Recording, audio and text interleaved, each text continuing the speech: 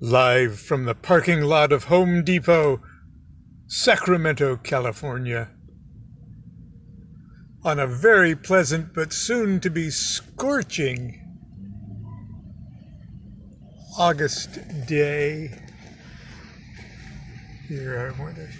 Oh, look at my Ganesha there. Oh, there's my Ganesha. He's on the other side. There he is.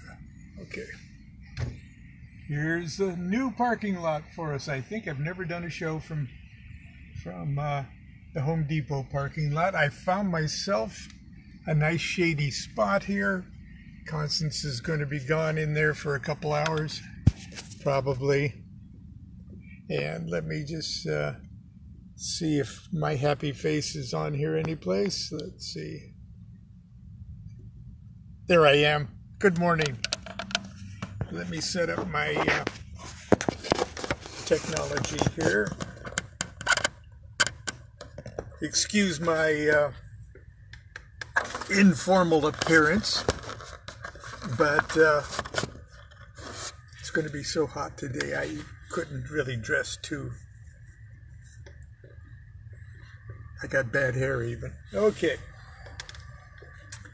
I just uh, advertised that uh, do I believe in God? And Aleister Crowley answers the question. And uh, I am going to actually read in Aleister Crowley's own words his answer to that question. But first, I want to uh, uh give you a suggestion if you don't already uh, already have in your library a book that's been published as Magick Without Tears. Okay. Now I was lucky enough to have a get a Magick Without Tears uh, early on in the late 70s. Uh, uh, and I forget which edition it was, but uh, there. Uh,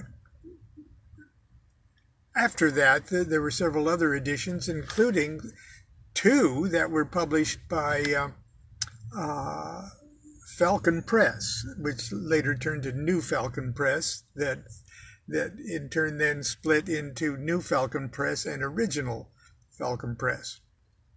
But at the time, it was just Falcon Press that uh, published uh, uh, Magick Without Tears. Now, Magick Without Tears was written and compiled and edited and everything by Crowley in the last very, very last years of his life. That and the Book of Thoth were the, the two uh, almost final contributions of, of Crowley. And uh, as a matter of fact, under his uh, under his bed in the room that he died was the manuscript and uh, notes for Magick Without Tears. Now, Magick Without Tears is Crowley's answers to letters that uh, were written to him by uh, uh, several women disciples. Now, I think we've we've actually been able to identify uh, who at least one of those uh, uh, querents were, but as I'm not completely sure I stick my neck out and say uh, who it was, but it, it's someone that you're likely uh, not to uh, to recognize in our uh, pantheon of Thelemic uh, characters of that time period.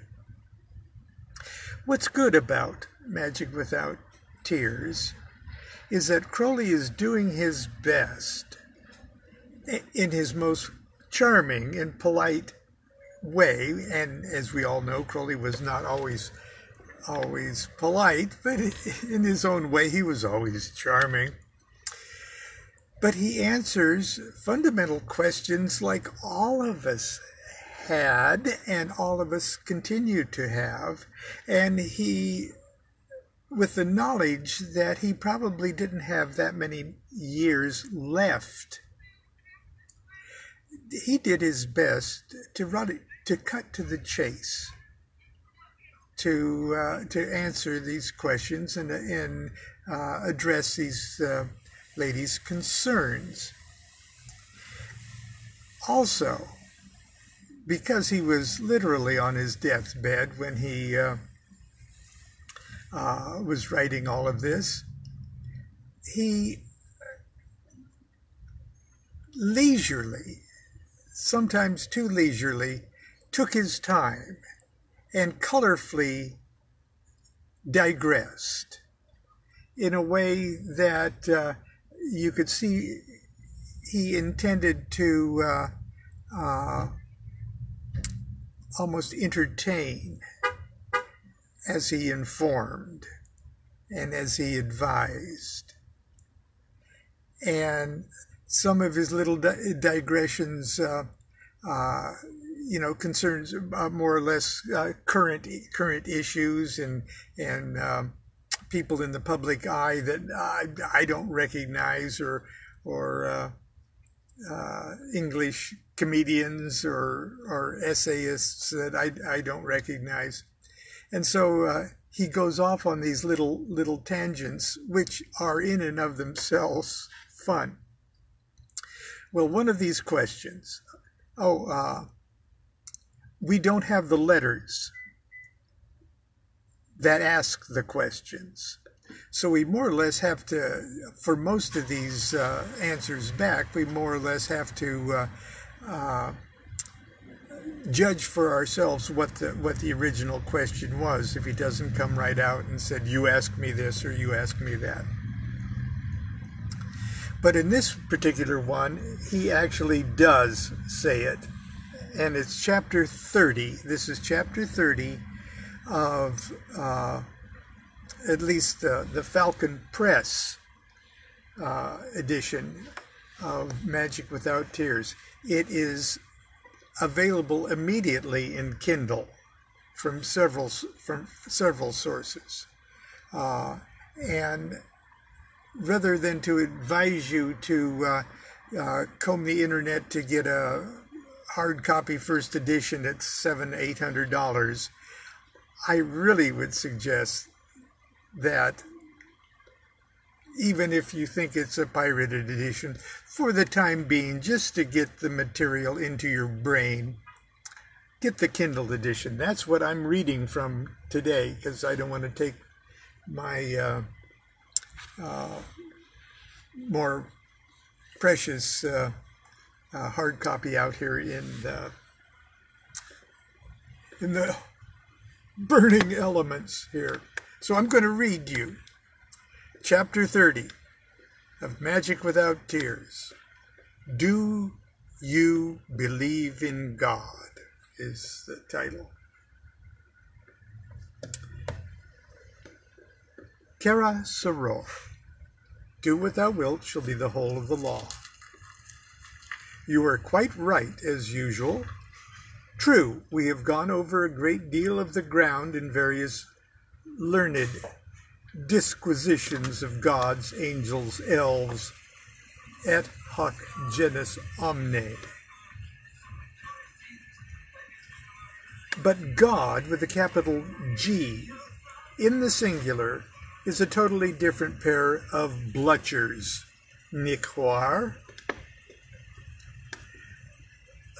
Let me go back for just a moment to the meaning of belief. We agreed that the word was senseless except as it implies an opinion, instinct, conviction, what you please, so firmly entrenched in our natures that we act automatically as if it were true and certain without error. Perhaps even the essence of truth. Browning discusses this in Mr. Sludge, the Medium. Got that out of the way. Good.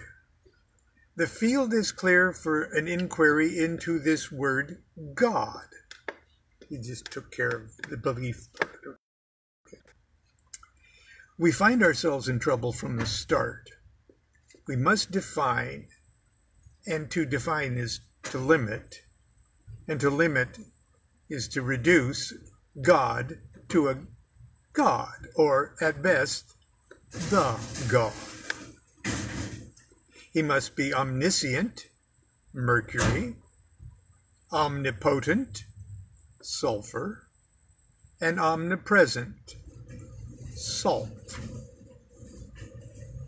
Yet to such a being no purpose would be possible. So that all the apologies for the existence of evil crash. If there be no opposites of any kind, there can be no consistency. He cannot be two, he must be one. Yet, as obvious as is obvious, he isn't. How do the Hindu philosophers try to get out of this quag? Evil is an illusion, has no real existence. Then what is the point of it? They say, not that, not that, denying him all attributes. He is, quote, that which is without quality, quantity, or quality, unquote.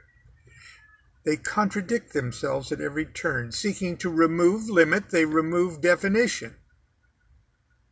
Their only refuge is in superconsciousness. Splendid. But now belief has disappeared altogether. For the word has no sense unless it is subject to the laws of normal thought. Tut. You must be feeling it yourself the further one goes, the darker the path. All I have written is somehow muddled and obscured. Magre, my fren- frenzied struggle for lucidity, simplicity. It is this fault of my is this the fault of my own sophistication? I ask myself. Tell you what, I'll trot round to my masseuse and I'll put it to her. She is a simple country soul, by no means overeducated, but intelligent, capable of a firm grasp of the principles of her job, a steady churchgoer on what she considers worthwhile occasions, dislikes the rector, but praises his policy of keeping his discourses within bounds. She's done quite a lot of thinking for herself, distrusts and despises the press and the radio, has no use for ready made opinions. She shares with the flock their normal prejudices and phobias, but is not bigoted about them, and follows readily enough a line of simple, simply expressed destructive criticism when it is put to her. This is, however, only a temporary reaction. A day later, she would repeat the previous uh, in, innatities as if they had never been demolished. In the late 50s, I guess, that's her age, she said, I sprang your question on her out of the blue, a la Doodlebug premising merely that I'd been asked the question and was puzzled how to answer it. Her reply was curious and surprising. Without a moment's hesitation and with great enthusiasm, quote, Quickly? Yes. Do you believe in God? And she said, Quickly? Yes. The spontaneous reservation struck me as extremely interesting. I said, Of course, but suppose you think it over and out a bit. What am I to understand? She began glibly. He's a great big. And then broke off, looking foolish. Then all then although omnipotent, he needed our help. We were all just as powerful. We were all just as powerful as he, for we were little bits of each other. But exactly how or to what end she did not make clear. an exclamation. Then there is the devil. She went on without a word from me for a long while, trying to uh, trying herself to keep into fresh knots with every phrase. Excuse me, tying herself up into fresh knots with every phrase. She became irreverent and then downright blasphemous, stopped short, and began to laugh at herself, and so forth. But what struck me as curious and significant, in the main, her argument followed quite closely the lines which came naturally to me at the beginning of this letter. In the end, quote, curiouser and curiouser, she arrived at a practically identical conclusion. She believed but what she believed was nothing with a capital N. As to our old criterion of what we imply in practice when we say that we believe, she began by saying, if we helped God in his mysterious plan, he would in some fashion or other look after us. But about this she was even more vague than in the matter of intellectual conviction, quote, helping God meant. Meant having behaving decently, meant behaving decently according to one's own instinctive ideas of what decency means. It is very encouraging that she should have seen without any prompting on my part to what a muddle the question necessarily led. And the very nice and very nice of me because it lets me out. Cara Soror. Loves the law, love under will, fraternally 666. P.S.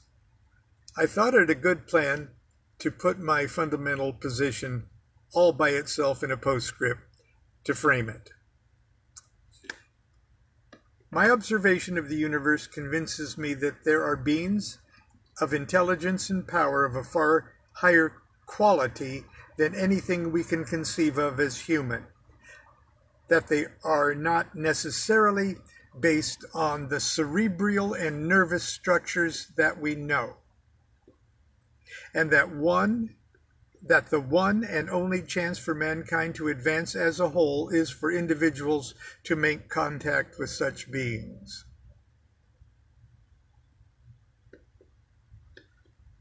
And that's how he answered the question Do I believe in God? Okay, that is it for today.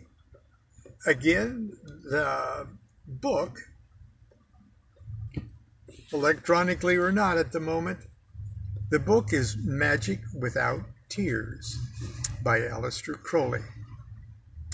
And that was chapter 33.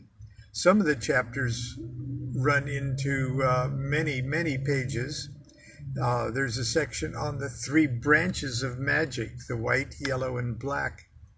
And uh, wonderful, wonderful uh, insights, even insights to Crowley's own imperial Tory Tory ideas that he held tight, uh, obviously, till his death. But anyway, if you want to understand more about Aleister Crowley, want to understand more about magic and Thelema, you'll be uh, well advised to familiarize yourself with Magick Without Tears. Anyway, from the parking lot of Home Depot, while it's still relatively relatively cool, I bid you a good day, and I hope to see you tomorrow for Saturday morning cartoons.